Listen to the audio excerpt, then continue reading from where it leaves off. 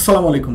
সর্বশক্তি দিয়ে শেখ হাসিনাকে ক্ষমতায় রাখতে ব্যর্থ হয়ে পরাজয় মেনে বাংলাদেশের সঙ্গে সম্পর্ক উন্নয়নে জোর দিয়েছে ভারত। বুধবার সকালে পররাষ্ট্র মন্ত্রণালয়ে উপদেষ্টার প্রতি প্রধানমন্ত্রী নরেন্দ্র মোদীর শুভেচ্ছার কথা উল্লেখ করেন প্রণয় ভার্মা। হাসিনার পতন নতুন সরকারের আগমন ভারত চাইছে সম্পর্ক উন্নয়ন। খালি চোখে বিষয়টি স্বাভাবিক মনে হলেও এর পেছনে রয়েছে গভীর ষড়যন্ত্র। যা ভারতের প্ল্যান বি নামে পরিচিত। বাংলাদেশ নিয়ে প্ল্যান এ ব্যর্থ হওয়ার পথে থাকায় অল্প কিছুদিনের মধ্যেই প্ল্যান বি এর দিকে অগ্রসর হবে ভারত। দু হাজার জানুয়ারিতে হিন্দুস্তান টাইমসের Washington DC base US correspondent Prashant ঝায়ের একটি রিপোর্টে ভারতের প্ল্যান এ এবং প্ল্যান বি এর সম্পর্কে বিস্তারিত ধারণা পাওয়া যায়। উক্ত রিপোর্ট বিবেচনায় যা বোঝা যায় তা হচ্ছে ভারতের ফরেন পলিসিতে মূলত দুটি বিষয় বিদ্যমান, একটি প্ল্যান এ তা ফেল করলে প্ল্যান বি প্ল্যান এ অনুযায়ী ভারত চায় তার প্রতিবেশী দেশগুলোতে ভারতীয়দের সঙ্গে সুসম্পর্ক বজায় রাখার মতো সরকার আসুক। সেই ক্ষেত্রে ভারত তার প্রতিবেশী দেশের এমন দলকে সমর্থন দেয় যারা ভারতের কাছে জিম্মি হয়ে থাকতে পারে। এরপর সেই দলগুলো জয় পেলে তাদের ভয় কিংবা আদর দেখিয়ে নিজেদের স্বার্থ সিদ্ধি করার চেষ্টা করে। কিন্তু এই পরিকল্পনা ব্যর্থ হয়ে ভিন্ন কোনো দল ক্ষমতায় আসলে তারা চলে আসে প্ল্যান বিতে প্ল্যান বিতে ভারত বাণিজ্য অর্থনীতি এবং বিনিয়োগের বিষয়টিকে সামনে এনে কাজের সম্পর্কের মাধ্যমে সম্পর্ক স্থিতিশীল রাখার চেষ্টা করার সঙ্গে সঙ্গে সুযোগের অপেক্ষা থাকে ষড়যন্ত্রের। যা চনক্য নীতি নামে পরিচিত।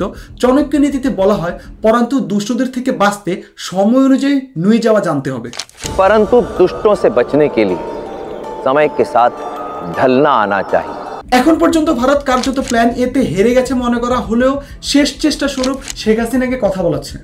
বাংলাদেশ আওয়ামী লীগকে মিছিল করাচ্ছে আমাদের হিন্দুদের ব্যবহার করে মিথ্যা সংবাদ প্রচার করতে উঠে পড়ে লেগেছে ভারতীয় মিডিয়ায় প্রধান কাজই হয়ে দাঁড়িয়েছে এসব প্রপাগানা ছড়িয়ে বাংলাদেশকে অস্থির করে তোলা কিন্তু আমরা জেনে গেছি বর্তমানে বাংলাদেশের হিন্দুরাই হিন্দু মন্দিরে আগুন লাগানোর চেষ্টা করছে আমাদের নিয়ে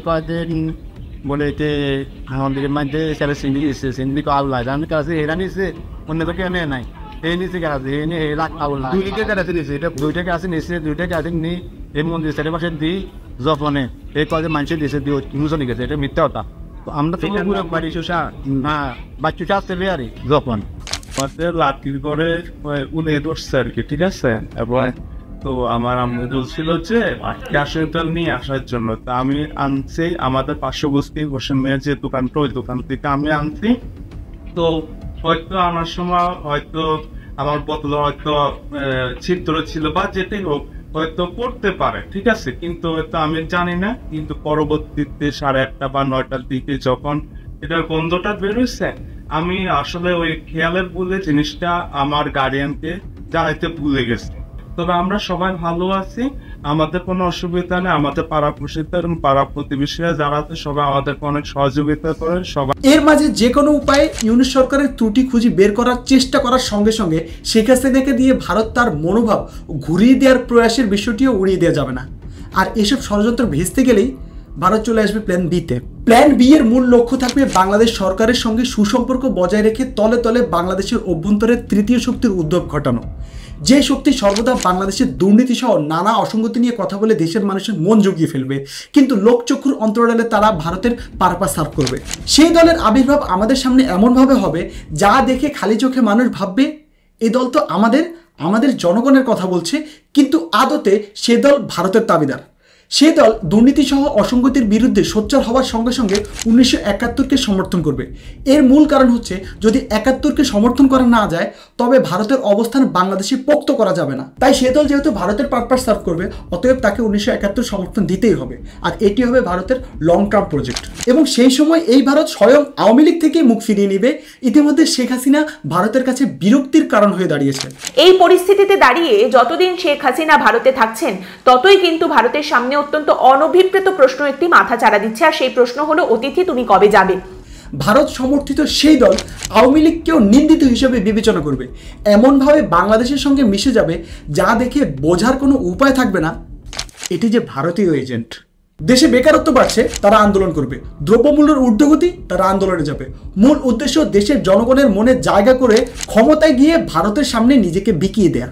এর বাইরে ইউরো এশিয়া ভিউতে গত এপ্রিলে ভেনুপ্রসাদ ঘোষ ভারতের পরবর্তী পরিকল্পনা সম্পর্কে বর্ণনা দিতে গিয়ে লিখেন, বাংলাদেশের জন্য ইন্ডিয়াকে তৃতীয় পক্ষ ভেবে নেওয়া উচিত, যাদের চেতনায় অবশ্যই উনিশশো একাত্তর থাকতে হবে। সঙ্গে উনিশশো বাহাত্তর সালের কনস্টিটিউশন সেকুলার এবং সংখ্যালঘুদের অধিকার নিয়ে কথা বলবে। এটি হবে ভারতের দীর্ঘমেয়াদী প্রজেক্ট এর ফাঁকে বর্তমান সরকারের সঙ্গে সুস্থ সম্পর্ক বজায় রেখে এই সরকারের ফাঁকফোকর বের করার চেষ্টা করে বাংলাদেশে অরাজকতার সৃষ্টির সঙ্গে সঙ্গে নতুন দল গঠনেও তৎপর থাকতে হবে। এর আগে আমি সরাসরি আপনাদের বলেছিলাম শেখ হাসিনা সরকার পড়ে যাবে। সরকারই থাকছে না, এই সিদ্ধান্ত দিয়ে কি হবে? খুব শিগগির শেখ হাসিনা বাকি নেতাদের মতো দেশ ত্যাগ করবেন। তার আগে তার মেয়ে শেখ সেলিম, তন্ময় সহ শেখ পরিবার। এরপর শেখ হাসিনা পালানোর এক সপ্তাহ পূর্বে আমি বলেছিলাম, সশস্ত্র বাহিনী গিয়ে শেখ হাসিনাকে বলবে, দুঃখিত, আমরা আপনাকে রাখতে পারছি না, আপনি ভারত চলে যান। শেখ হাসিনা দেশ ত্যাগের আগেই বলেছিলাম শেখ হাসিনা হার মেনে নিলেও ভারত মেনে না নিয়ে দাঙ্গা বাঁধানোর চেষ্টা করবে। শেখ হাসিনার কিছু করার নেই দেখে এক্ষেত্রে সেফ এন্ট্রিটাই তার জন্য উত্তম সিদ্ধান্ত হবে। তবে এর আগে বাংলাদেশের অর্থনীতির বারোটা বাজিয়ে দেবেন তিনি। তবে ভারত এ হার মেনে নিতে নাও পারে। যার কারণে তারা বাংলাদেশি হিন্দু, মুসলিম দাঙ্গা বাঁধাবে। মসজিদে গীতা রাখবে, মন্দিরে কোরআন রাখবে, বা এমনও কিছু করতে পারে যা আমরা ধারণাও করতে পারছি না। আলহামদুলিল্লাহ, আমরা সব ষড়যন্ত্র ট্যাকেল দিতে পারছি। কারণ আমাদের নিয়ত ঠিক আছে, আমরা সংঘবদ্ধ আছি ইনশাল্লাহ আমরা আগামীতেও পারব। ইতিমধ্যে বাংলাদেশ নিয়ে ভারতের ভবিষ্যৎ ষড়যন্ত্রের একটি অংশ আপনাদের সামনে তুলে ধরার চেষ্টা করলাম। আমার বিশ্বাস, ইমান ঠিক থাকলে, আমরা সংঘবদ্ধ থাকলে, আগামীর পরিকল্পনাও ভারতের সফল হবে না। ইনশাল্লাহ আল্লাহ হাফেজ, আসসালামু আলাইকুম।